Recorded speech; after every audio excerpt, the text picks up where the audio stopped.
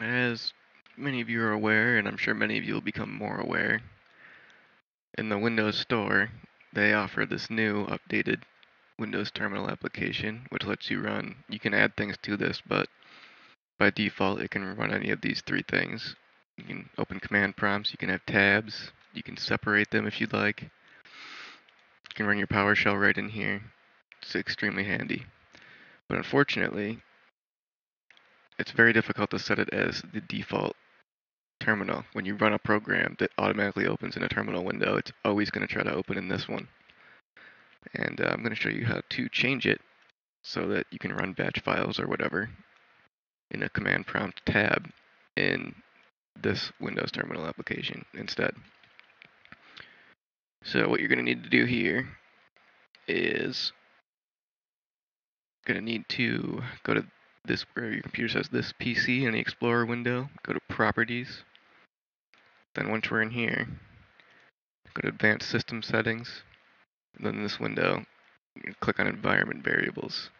You're going to find this one right here that says ComSpec. This is where it points to the terminal application. Ordinarily, it points to Windows System 32 command prompt cmd.exe, but we're going to change it so that it will run the Windows terminal instead. Now to do this, you have to find where the terminal is installed on your computer.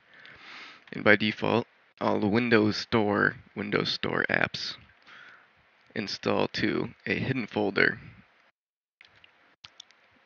in program files, Windows apps. And you won't be able to access this folder because they don't want you to access this folder. You can, you can go in and use the security tab in here to take ownership of it, which I had done when I was trying to figure out how to do it, but it, it's not necessary. You don't you don't need to do that.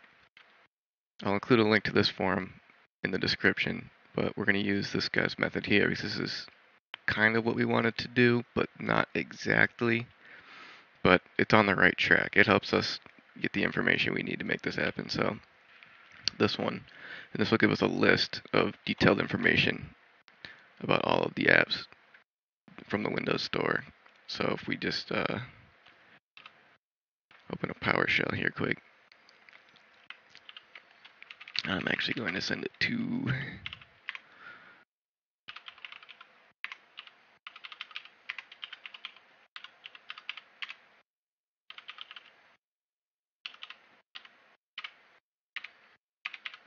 so that I can see it on my desktop there.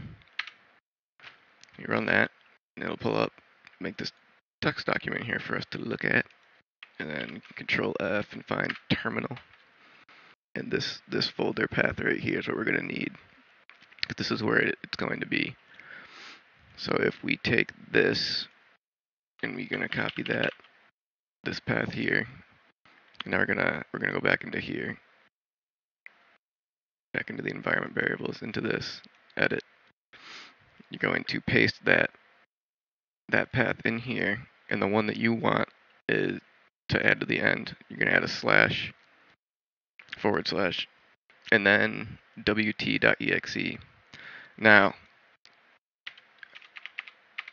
for a long time I had been doing it just like this, and it, it was I could not get it to work. Right like that, nothing at the end of it but Windows Terminal is just a user interface for various actual shells. So if you try to run, let's see if I can find an example. Eh, so I have a batch file server. I can run like a Minecraft server, that's a batch file. If I try to run this, it's stay following argument until expected slash C runs help. That's because it's trying down here. If you see this window is popping up from Windows Terminal. So it's trying to do it, but it's, it doesn't know how to do it because you haven't told it what environment you want to run that in. So if you want this to open Windows Terminal, but always be a command prompt essentially, just a command prompt within Windows Terminal, then you need to add the argument at the end here, add a space, and then type cmd, and then save that. And then at that point, you should be good to go.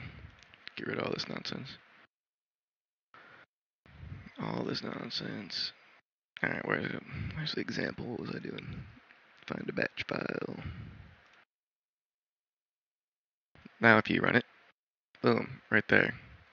you should be good to go. I haven't run into any problems with this method yet. If somebody knows a, a better way to do this, I'd be happy to know, but I couldn't find anywhere online, at least within an hour of Google searching, that had any kind of instructions on how to change it so that this would just run by default. Hope that helps some of you else out there because it took me all morning to figure out how to do that.